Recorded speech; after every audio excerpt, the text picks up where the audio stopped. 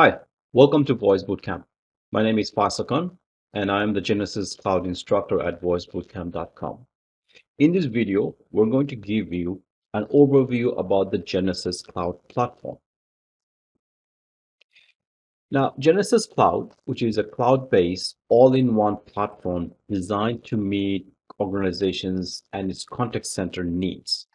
Now, it is a pure 100-base uh, cloud running on Amazon AWS services. Now, these services are available to organizations of any size that require unified communication or collaboration. However, there are a certain number of users may need to meet the requirement in order for you to get a subscription. Genesys Cloud CX is a suite of cloud-based services and applications that is built on a cloud infrastructure provided by AWS. It does provide a secure access to the organizations worldwide. So the whole Genesys Cloud CX environment is a collection of uh, microservice application that runs simultaneously and delivers to the customer via the internet protocol internet. Now, uh, when we talk about the uh, Genesys Cloud CX, we're going to focus on three different components. You got the collaboration, communicate, and the contact center all of these three elements are kind of managed by the Genesys Cloud uh, platform, often known as the Pure Cloud. Now, it is based on a microservice architecture. Microservice architecture style is an approach to uh, develop a single application in a suite of smaller services. So basically what you do, you break down a very large uh, application into smaller pieces and then have them have each pieces communicate with each other using HTTP resource API. A large application is broken down into multiple applications. Enable each applications to update independently, make it easier to isolate and correct bugs as well as other issues. Now, it, it, the individual applications are the microservice that makes up a large applications. Now, think about individual application running on, on a, a, solution like a, something called a Docker which is basically contains its own container, own process, memory, and etc.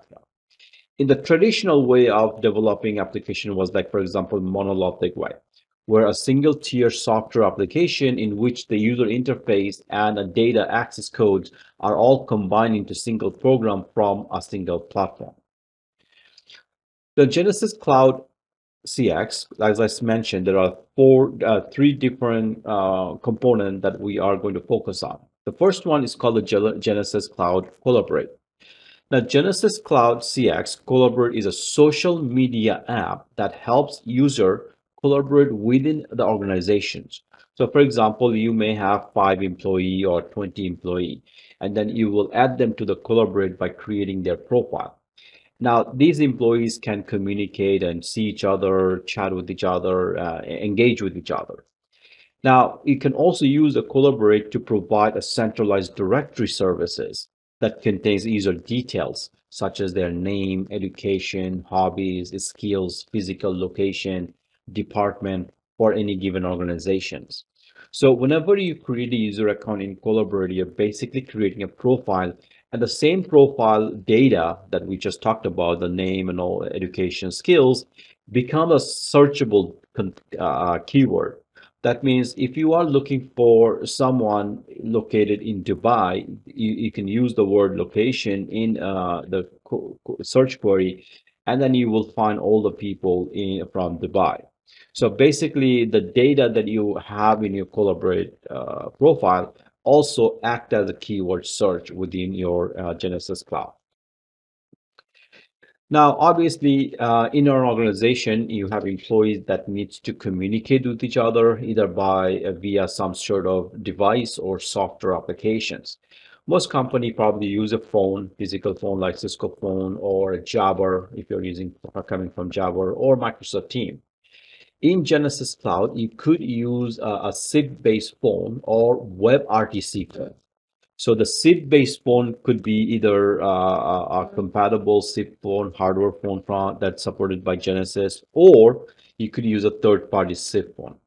Now, when it comes to third-party SIP phone, there could be some uh, feature lacking that depending on uh, the phone itself, but nevertheless, you could register a third-party SIP phone if you want to. Now, in order to do that, you need to create a, some sort of SIP phone trunk. We'll talk about that later. But Genesys also provides something called the WebRTC phone uh, enabled phone. WebRTC enabled phone is a, Genesys Cloud CX phone, which is basically using your web browser to dial and receive calls from your client or users. Now, Genesys Contact Center, which is the main product or main component that we're going to focus on, is basically a complete contact center solutions that offer customer and out of out of the box all-in-one contact center solutions that allows the customer to engage through a multi-communication channel or sometimes referred as omni-channel. Now, these such channels are, for example, voice call, uh, you could do fax fax machine you could uh, email uh, the con uh, contact you can do a web chat with the contact you can do sms chat social media or even callback now Genesys cloud cx will collaborate and communicate uh, and the like genesys cloud collaborate and the Genesys cloud communicate form the foundation of your contact center as as it relies on that and it provides organization a fully functional unified communication system. Now, the Cloud Contact Center has many different features. For example, you have the call feature for the agent, outbound dialing, you got Genesys Cloud eh, CX ACD, quality management, scripting, reporting, as well as alerts. Now, the call feature for agent, for example, uh, when we talk about the first feature, an agent interacts interactions are the frontline exchange of information between the company and its contact, the contact being the customer. Now, these call features include consult transfer, web chat, queue, uh, queue status check, wrap up code, after uh, after call uh, work or wrap up uh, time, as well as agent assistance. These are the call feature for a particular agent when an agent receives a call obviously the agent will answer the call and you know transfer the call sometimes sometimes they have to transfer a call to maybe an individual they may have to establish a new call or they may be uh, chatting with the customer using a web browser um, at some point you may need to find out how many calls are waiting in a queue so that you can answer or uh, take calls from the queue by going into ready mode and then when you hang up the call, there are a certain amount of time that mean that's given to you that that you could be using to complete the previous call. That's called a wrap up time. So the wrap up time, before you go into wrap up time, you may need to choose a wrap up code that will allow you to say why you're going into that mode. It could be completing an old call. It could be updating a customer database, could be updating agent information, taking notes, whatever that you can think of. Then you have the outbound dialing. Now the outbound dialing is a very common and very popular feature of any contact center. In many environments, you may have a companies whose primary business is just dialing customers, outsource reach or outsource marketing. It could be telemarketing. It could be uh, voting uh, election time when the uh, let's say campaign personnel calls voters. It could be a company, marketing company doing a survey by having calling the customers. So outbound dialing uh, allows administrator to set up and set up the campaign to dial a bunch of phone numbers automatically. The campaign screens out the screening machine. So when you dial someone and that that call was answered by either an answering machine or voicemail, the Genesys Cloud outbound component will be able to detect that as being an answering machine. Or if you call someone and then realize that that person is busy, it will identify as a busy signal or non-completed call. It is important for Genesys to mark that call. So because otherwise you don't want to keep calling the same machine that always keep going to the answering machine, right? By setting a campaign's dialing mode, administrator will ensure that the agent receives only those calls uh, that, that, that reach a live individual.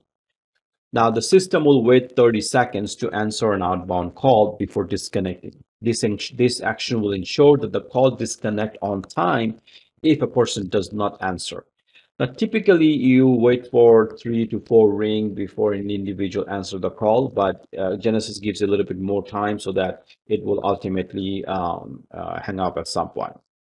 Then you have the ACD functionality, which is called the Automatic Call Distributor or ACD, which is basically a telephony system that receives an, an inbound call and route them to a capable agent as quickest and uh, direct manner.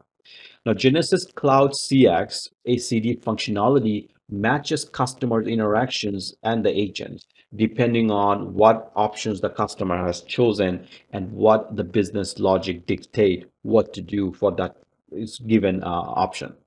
It then processes and assigns interactions to the appropriate agent by choosing the uh, agent uh, extensions and then transferring the call to that individual.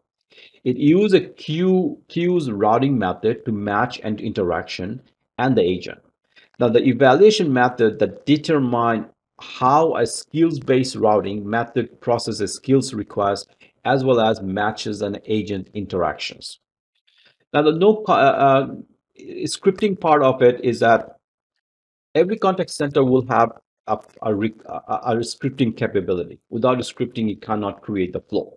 So in Genesys, administrator can use the script designer to create a script that help agent process interactions.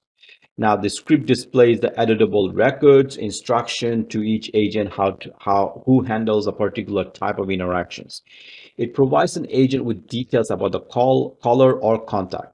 Now, often the field of collecting and updating information can be programmed within the script.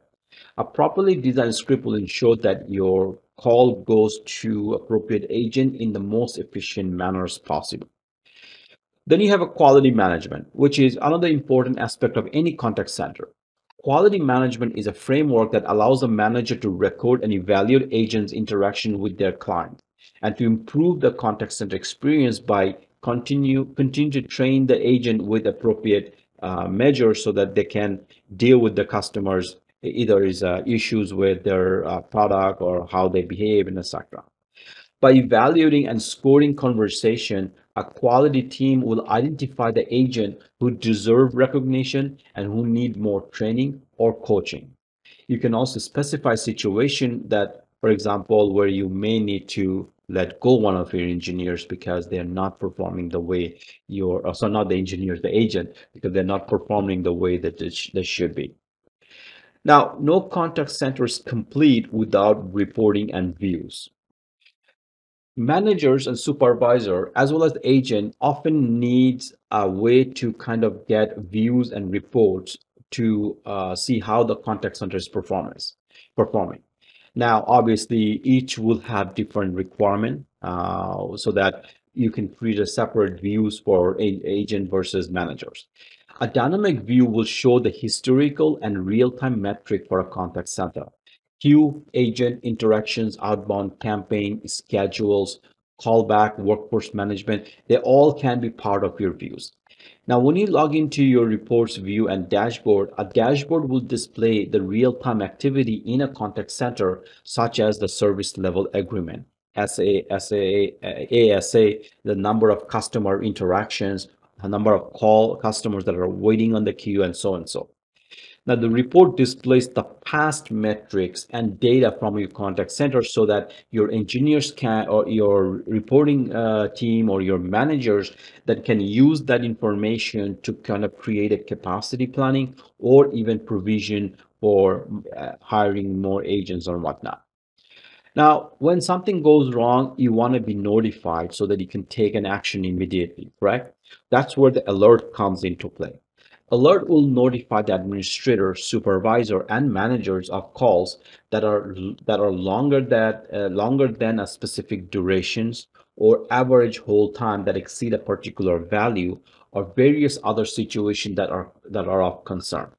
For example, you can say that if the call is waiting in a queue for 30 minutes, you want the manager to managers to be aware of it. So you can generate an alert uh, where a signal will go to the manager saying that, look, there are a few calls waiting in the queue for more than 30 minutes. So a, a manager could then read that information and kind of find out what's going on. Uh, do I have enough agent? Are agents taking longer than necessary to close a call? or if the agents are not even handling call, for example, for whatever reason. So there are many steps that you may need to take, but in order to do that, you need to be notified that for that. And that is when the alerting comes into uh, very useful. Now, regardless of the user's role, every member of your organization will either use collaborate or communicate. Now, some user may use may, uh, may may just use collaborate, but not necessarily the communicate, meaning that you have a user account for let's say Joe, but Joe happens to be a janitor janitor for your organization. He or she may not necessarily need a SIP phone to do communications, or you may have uh, a user that has uh, is just doing some temporary work, so you may not need a phone for that individual. So it is possible that the user will have a collaborate account, but not necessarily co-communicate feature. But then you have a user, uh, you, you, may have an environment where you may have a 5,000 employee, but you, but you came from, sorry about that. You came from an environment where you already have an existing PBX system. For example, you may already have a call manager, CUCM, or you may have Avaya call uh, phone system or maybe a third party phone system, but now you're just using the Genesys for uh, contact center. Well, in that case, you may not necessarily need a communicate feature for all your employees, but only you need them for the agent. So let's say out of 5,000, maybe 250 of them are your agent. In that scenario, you will have 250 communicate features because they're going to need a phone to communicate with. Then you have the contact center. Now, these are the people who are going to be responsible for your contact center uh, services. These are staffs responsible for customer engagement that have access to additional features specifically related to contact center communications. Uh, such user will have role like contact center agent, supervisor, telephony administrator, and a supervisor administrator, super administrator. All right, so as you can see, this is the overview about our Cisco Gen uh, sorry Genesys Cloud CX uh, contact center. This is uh, you know it has three major components, which is collaborate, communicate, and contact center. Collaborate is basically provide data, uh, user profile, and data related to the users. Where uh, it's a social media app that allows you user to communicate with each other or engage with each, with each other. Then you have a communicate feature that provides telephony capability, such as SIP phone or WebRTC phone and video capability. And then, of course, you get the contact center feature that provides agent, customer engagement, uh, workflow management, scripting, call flow, etc. All right, so hope you understand. Hope you got an idea about what Genesys is. We're going to learn more, uh, uh, more advanced feature of the Genesys as we go through this course. Thank you for watching, and I'll be seeing you in the next video.